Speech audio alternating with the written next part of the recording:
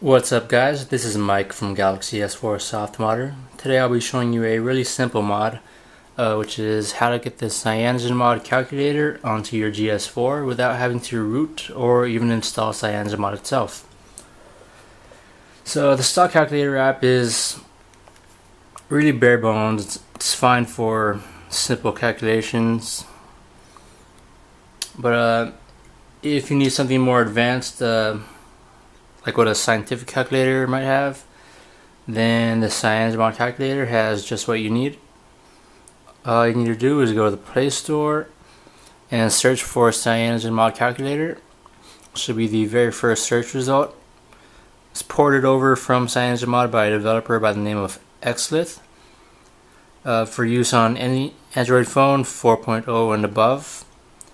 Now, once you have it installed, you notice that you have two calculator apps in your app drawer now, and it'll be the darker colored one. So you have uh, five different panels. You can swipe left and right to navigate them. Um, you have a graph. Uh, this is for decimal, binary, and hex conversions. Uh, the basic panel for, uh, for more advanced stuff, and for matrix.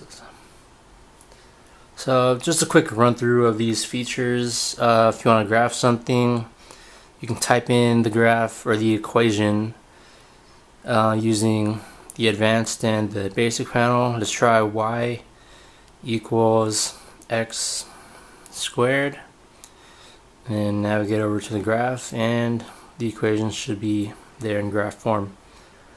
And you can zoom in and out with the plus and minus buttons and then uh, the square button will take it back to the default size which is uh, from negative 10 to 10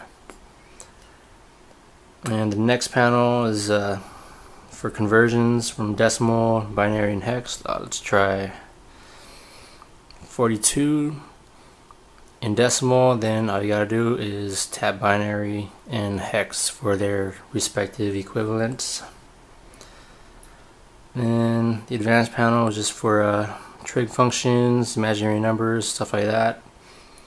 And then the matrix panel, you just tap that button with the brackets to create a matrix.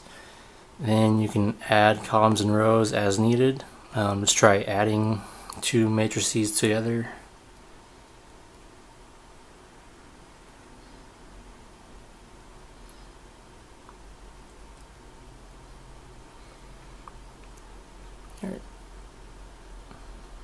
Oh, that's in a hex. So that's decimal, and there's your answer. And uh, there's also a little Easter egg, Pokemon Easter egg that I just discovered. If you go to the Matrix panel and put it in landscape, you get that little Pokemon Easter egg. You can tap that for yourself to find out what it does. So that's pretty much it. It's really simple to use. Great upgrade over the uh, regular stock calculator. If you're a student taking a math class and you've forgotten your TI-84 at home, you can always just whip out your phone as a backup. So thanks for watching guys. Don't forget to like, comment, and subscribe, and check out the full tutorial at Galaxy S4 Softmodder.